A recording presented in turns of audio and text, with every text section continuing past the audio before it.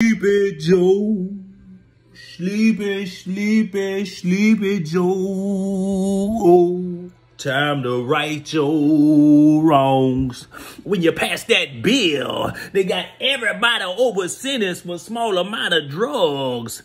Now God didn't give you another chance to right your wrongs and put you in the White House in a position of power. Time to right your wrongs and Kamala. God and gave you another chance for you to repent of your sins when you was over sentencing everybody as a prosecutor, giving them 20 and 30 years for small amounts of cocaine and crack cocaine.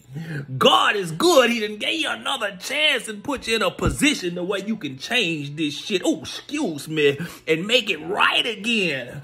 You can start by legalizing that ganja and ease it up on them drug charges because the punishment ain't fitting the crime time. God is good. You can repent of your sins like when you put that man on death row for that crime he didn't even commit. And when the evidence came out, you tried to hide it because you didn't want him to go free because you would have had to admit you was wrong. You ain't want to do it. Lord God, good God. But God done gave you another chance. He done gave you another chance to repent and make it right. Time to right your.